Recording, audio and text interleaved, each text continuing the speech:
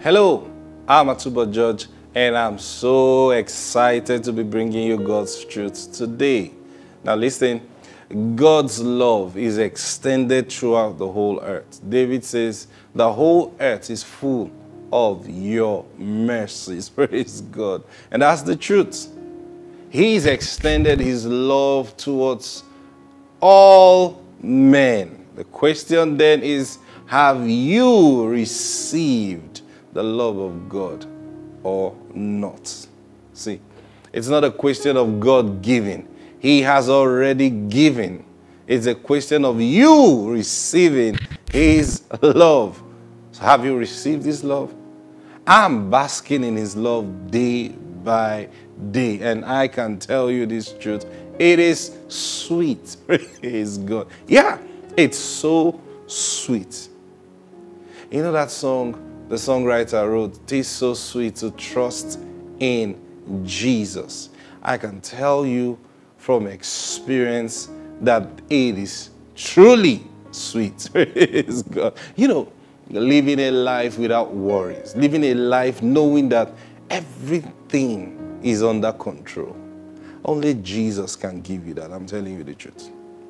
No matter the uncertainty in the world, you are just convinced in your heart. And I don't mean assumption or simple hoping. I'm talking about real time fellowship and knowledge from the Lord Himself that relax, everything is going to be all right. And then you keep seeing the signs. We don't just sit down there to hope. We know what we have believed, and we hear instructions from the one who we have believed. That is what gives us hope. Do you understand what I'm saying? You can't have hope without hearing from Him. Then your hope is baseless. You don't have hope because someone else is having hope. You have hope because you know and you have heard from Him. So when He has told you this is how this thing is going to be, you know, I believe Him. See, just like Paul traveling on that sea, and they had an issue. And Paul told them, Look, an angel stood beside me, and he told me fear not, Paul, you will stand before Caesar. And Paul looked at them and says, You know what, guys? I believe that it shall be even as it was told me. Praise God. What a life. Others did not hear that voice, they didn't see that angel. But Paul did. It's the same thing that happens to us every time in life. Whatever you're going through, you, you your first thought goes, Lord, what would you have me do here now? Without fear in your heart. See, because there is no challenge you will get into. Oh, even if it was a mistake from you, there is no challenge you are going to get into that God will have to crack his brain on how to get you out. No, sir. There is no challenge you will get to that God haven't. Oh, you know, sometimes people get confused about this. Now, today is a special day, so I'm, I'm sharing, you know, these thoughts with you. But by the way, this, this whole week, we're going to be talking about God's financial system. Praise God. God's financial system. That's what we're going to be talking about this week. Now, I've been talking to you from the beginning of this, this year about tithing. Now, it's part of it. Now, I'm taking you into the, the, the, the broad plan that God has. But you see, first of all, you've got to know this today Jesus is real. See, He's real. Everything you hear from God's word, every message you hear, every message you study in the scriptures, if you don't come to the personal reality of Jesus Christ, it means nothing to you. All everything you've heard will mean nothing to you. So we are not talking about Jesus we have heard about. Yes, we heard about him. But listen, because we heard about him and we believed, we met him. Praise God. Yeah, we met him. You remember the woman by the well? She she got the whole village. You know, she went around and said, Come see a man that have told me everything I ever did. And then they all came out said, hey, Okay, another man, yes, let's go see. And they came to listen to Jesus. And when Jesus was done with them, you know what they said to the woman? He says, Now we have believed, not because of your words, talking to the woman now, but because we have seen him and have heard him for ourselves. Praise God. Yeah. Someone may have preached the gospel of Jesus Christ to you. Maybe by television, maybe by personal witnessing. Whatever way you heard the gospel, maybe in church or wherever. Until you meet Jesus yourself, don't get satisfied, brothers and sisters.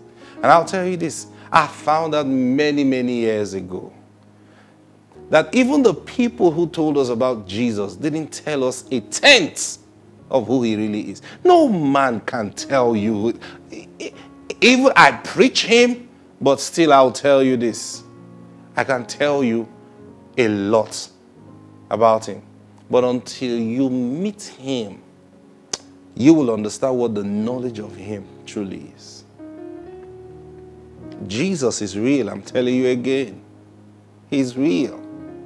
He's not just out there, you know, we're hoping, you know, we are just serving. Let's follow the rules so that we will please Him. No, no, no, no, no. We, we don't live our lives set to follow certain rules. We are in a relationship with Him. And we live our lives because He teaches us what to do. The world looks at us and says, hmm, you're, you're very, you know, together. You, you, I, I notice there are certain things you observe. We don't observe them for observation's sake. You see that we observe them, but we are responding to our relationship with Him. So He tells us the truth about something, and we know not to do that thing or to do that thing. You understand what I'm saying? So we, we do it by revelation. So that's what a lot of people don't know. Now, because they lack revelation, just like I was talking to you about tithing, we tithe by revelation. It's not a law that we are trying to keep so that God will not be angry with us. No, we have come into that system with God where we see that, look, with my tithe, I can touch someone's life. With my tithe, I can connect with God's financial system. With my tithe, I can connect with my high priest, who's Jesus Christ. Oh, I've been receiving testimony. Now, by the way, thank you, everyone who sends in testimonies. Some of you even sending questions. Thank you. Because you're showing us that you are watching and you are listening and understanding what we are saying. And thank you also for those of you who share these messages on your WhatsApp, Telegram, wherever, Facebook, wherever. And I encourage you to do more. Let this word go out. Let us fill the earth with the truth. People need to hear the truth. It's scarce. See, the Bible talks about a season when the word of God was scarce. And I told you the Bible prophesied again that that's still going to happen. Now it doesn't, you know, you know, maybe people think it means the Bible is going to be out of circulation. No, no, no, not necessarily. You can have the Bible, but you don't have the Word of God.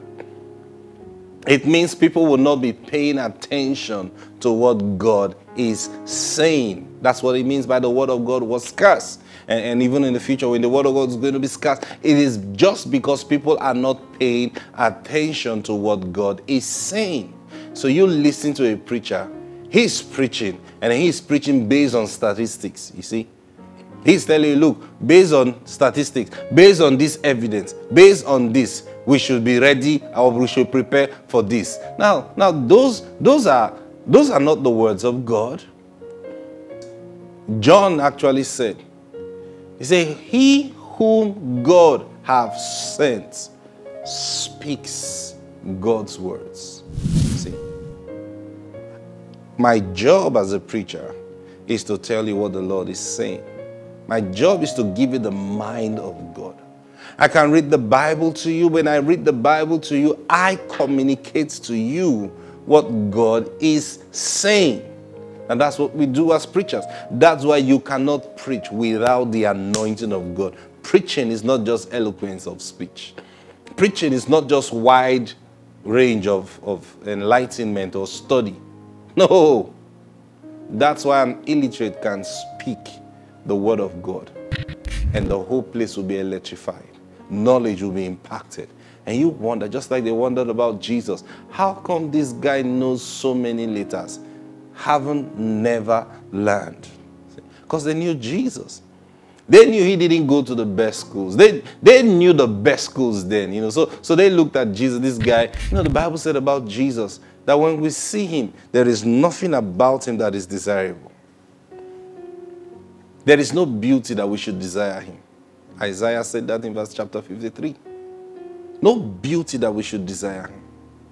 Yet, he was the savior of the world. Praise God. So they looked at Jesus and said, Man, this guy is speaking accurately. How did he learn these things? Same thing with the disciples of Jesus Christ. They said about them, they said, Come, how come these guys know so much? And then they took notice. Yeah, they've been with Jesus. Now remember that, oh, the same way they thought about Jesus was the same way they thought about the disciples. And I'll tell you this truth anyone who knows Jesus, anyone who walks with Jesus, will bear the same testimony. They will look at your life, they will try to, to track did he go to Harvard? No. he act, actually, he went to St. You know, something grammar school in, in the backside of the village. And you wonder, so, so where did he get it from? He got it from Jesus. Praise God. I encourage you today. Re-examine your relationship with God. And when I mean with God, I'm talking about get into real-time fellowship with Jesus Christ. And He's willing. He wants to take care of you. He has everything planned out already. That, that's what we're going to be looking at this week. Everything is planned out. You know, sometimes when I remember years ago when I began to see these things, sometimes I will sit down and I will cry. You know why I'm crying? Why are people suffering? I, I, look at people struggling to make ends meet. I look at people, you know, running just, just, you know, and then you wonder, like, and you begin to praise the Lord. Can't they know? Because you look at yourself, you know that it wasn't your intelligence that brought you into this knowledge. You know that you didn't go to any specific school that brought you this knowledge. But the Lord Himself giving grace to you. So you begin to praise the Lord, multiply this grace. Let all men know. Let all men know. That's why we teach. We do all these things, you know, to get His words to you because this thing is real to us. So check yourself. When last did the Lord Jesus talk to you? Don't tell me He talked to me when I read the Bible, as in eh, when I read this is the Bible, so I believe. I'm not. That's not what I'm talking about. You, when He talks to you, you will know. You will know. And that's what God wants. He wants us to begin to hear His voice, He wants us to begin to relate with Him personally. And I pray for you today. Oh, thank you, Holy Spirit. Listen, I enjoy that relationship. And today, the prayer I pray for you, I say, Father, I know your voice is real. I know you are real. And I ask for everyone watching me right now that you make yourself real and known to them, even as you have done to me. Let them come to know you in truth. Fully express your love in their hearts and let them see you. Thank you, Father, for this. In Jesus' mighty name I pray. Amen. God bless you. I'll see you tomorrow. Bye bye.